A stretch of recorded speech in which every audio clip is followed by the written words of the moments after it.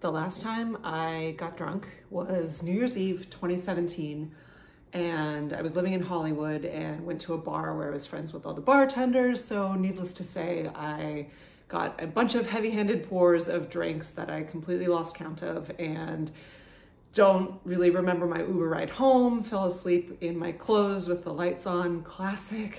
And for me, New Year's Eve, more than the partying, I actually really get into it. I love New Year's resolutions. I love fresh start. I love the spiritual, like going through the portal into a new year. So New Year's Day is always very exciting for me. I like to like set intentions and move forward with uh, goals and ambitions and yada yada.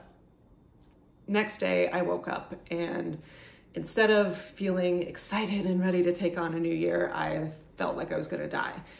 And I stubbornly went to a coffee shop where my plan was to like journal and sip my coffee and like vision board and all of that. And I barely made it. I basically crawled to my car and stubbornly drove there and was like, okay, I'll feel better if I have a coffee. And I took a sip and all of a sudden I was like, things got real bad. And I took another sip and just that flush of like nausea and sweats, but also chills. And I was like, oh man, something's about to come up. So luckily I made it to my car and sped home and kind of halfway ran up the stairs to my third floor apartment and got to the bathroom and projectile vomited several times.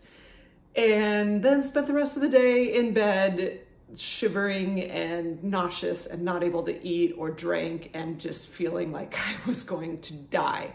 Great way to start the year. And, you know, that was, that's maybe okay, like in high school or college, because we all have to have that rite of passage. But I was like, I'm in my 30s. What am I doing? And something kind of just clicked where I was like, I don't ever want to do this again. This sucks. And of course, like we've all had those moments of like, you're completely hungover and you say, Oh, I'm just, I'm never going to drink again. And then a week later, you're drinking.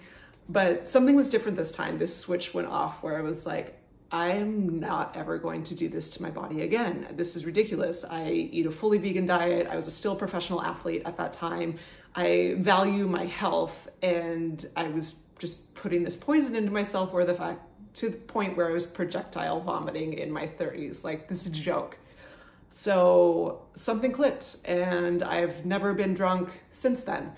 I have over the next couple years there were maybe like a handful of instances each year where I had like one or two drinks, never more than two, usually just one. And every single time I did, I was like, this sucks. Like, I never got that sick again.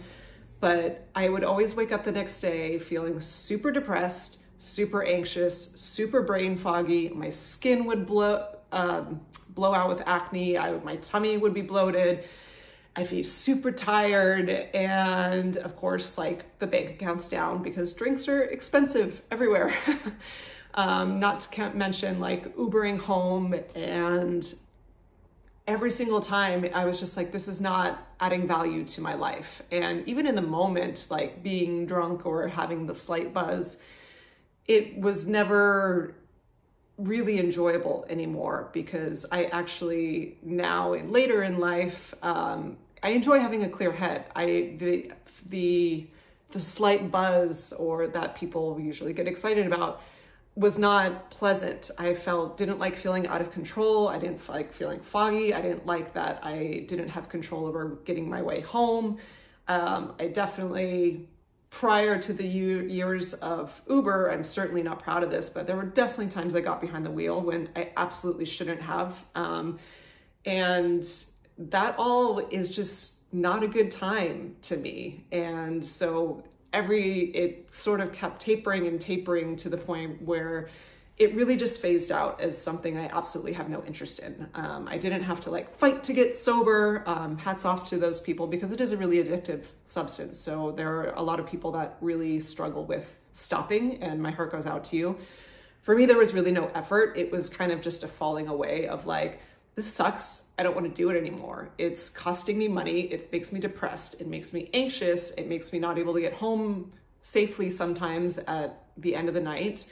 It makes my skin break out, it makes my tummy bloated, it drains my bank account, and it makes me foggy the next day. So it's like, what's the point? And also on a bigger level, like I don't want to have to have a substance to be able to have fun in life. Like to me, that seems like almost a cop out.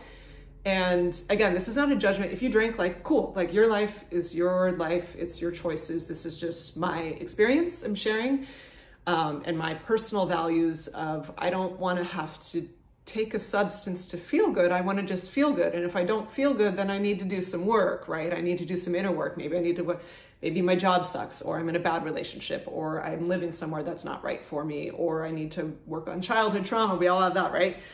Um, I want to just be able to feel good naturally and not have to take any other kind of substance to have that high. I want to be high on life.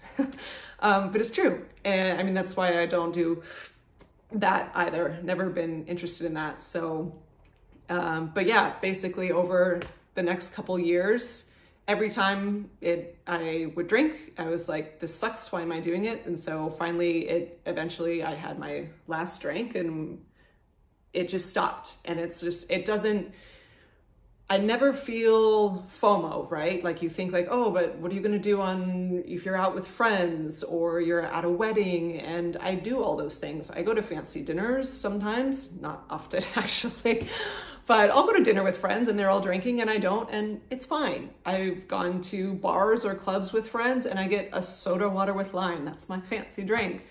And I've been to a bunch of weddings recently and everyone does the champagne toast. I raise a glass of water and guess what?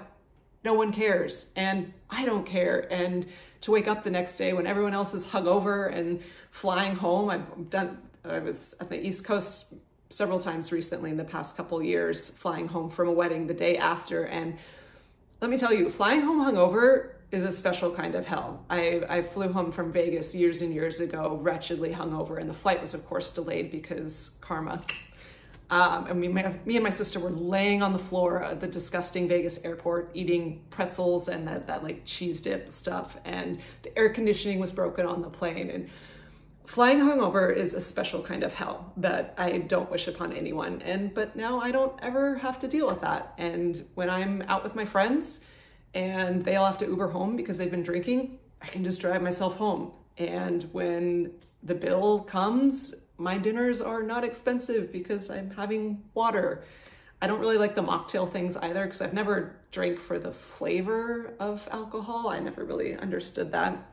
And again, if you enjoy those things, cool. This is just my experience. So um, it saves me a ton of money and I don't wake up feeling cloudy or foggy or have bad skin or bad breath or feel that sense of I used to wake up after drinking and feel this like impending sense of doom like something went wrong or I did something wrong or I said something stupid or the world's going to end or my life is over. And really that's just you pumped up your serotonin from drinking and then you really depleted your supplies so it's a come down. So you feel like crap and you feel like the world is ending. And I don't get that now. And I can still actually have fun and I have more fun with when I'm out. And because it's actually really liberating. Like, wow, I can have a good time, like just from my the connection of the people I'm with and myself, like, cool, I don't need something. So to me, it's awesome and I don't miss it. I would never, it's it doesn't strike me as like something oh, well, maybe in moderation or someday I'll come back to it. It's like completely off my radar as something I would ever put in my body again. And I'm really happy that it's not part of my life. Um, so if you drink, cool. Again, your life is your life. But if you're curious about what life is like on the other side of it, um, my personal spirit experience, it's pretty great. Um, I know lots of people try out dry January because New Year's and whatever. So give it a go and see how your bank account goes up. uh, see how your mood stabilizes. See how it's it's kind of like this almost like mm, what's the word for it? Like a cheat or a hack or like a secret club feeling like to go out and like everyone's drinking their face off and just to sip soda water and lime and be like, I'm cool, I'm good. Like I don't know, it just feels empowering to me and I, I enjoy it.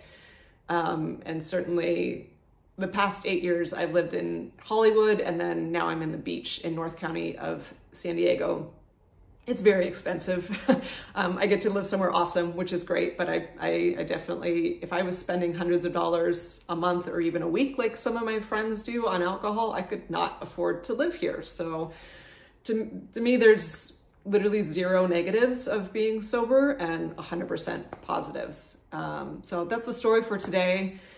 Try it out. If you're, if you're slanting towards like, hmm, like, you know, think about it. We, we do all these things as adults and social circumstances because it's just what everyone else is doing. But sometimes it feels good to make your own rules and your own decisions. And if you look at it like it's deprivation, then you're probably going to have a hard time with it. Like if it feels like you're you're cutting out something awesome from your life, then you're probably going to come back to it.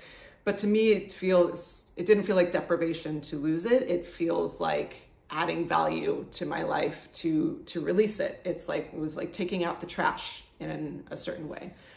Uh, so let me know in the comments um, if you're curious about trying out sobriety and what would be what are your blocks, what stops you from doing it, and or maybe even just cutting out to to less. Um, all right, that's it for today. Thanks for listening and have a good one. Bye.